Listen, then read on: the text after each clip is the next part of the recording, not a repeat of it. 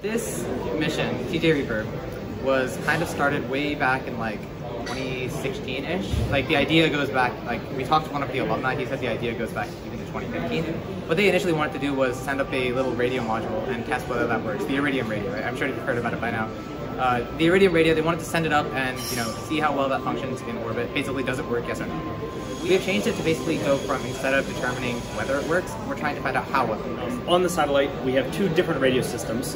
An APRS radio, which just uses traditional antennas and communicates directly with the ground, and an Iridium radio, which communicates with a Iridium satellite network so because Iridium communicates with a satellite constellation instead of a ground station, it can draw a lot less power than more traditional radios. Uh, essentially what they're going to do is they're going to take this satellite right here, they will go pack it into a box, uh, ship that box over the country towards Houston, take it out, move this into NanoRacks, who's our launch provider. We're going to put it into their big deployer tube, and once it's in that tube, that'll go integrate into an actual rocket. It's a SpaceX Falcon 9, and at launch time, it launches in like October.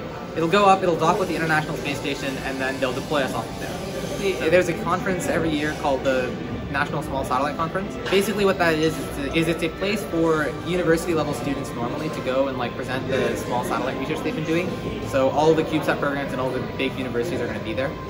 We are actually the only high school at that conference who actually has a booth. We'll basically go there and then present the work that we have done, present the results of that little study that we conducted, and then talk about some of our future steps and you know build some connections so that we can help make funding a little bit easier for our future missions. CubeSat was formed to help create a community at TJ of people who were passionate about aerospace and who could get hands-on experience with building a CubeSat at like when they're still in high school. And I also think the fact that we're a high school making a CubeSat and sending it into space is motivational not just for us but for other high schoolers around the country, for other groups that are trying to reach this point.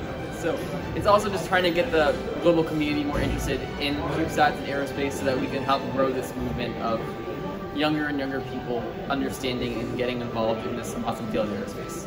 The TJ Space program organically formed from the students' passions and interests in aerospace. Thanks to the partnership fund, the students' dream became a reality. TJ Space has plans to work on another satellite through the GLEE program in 2023, and we're developing the next CubeSat, the TJ Bus, designed to carry TJ student research experiments to space. Thanks again to the Partnership Fund for their support and for helping to redefine expectations of what high school students are capable of at TJ.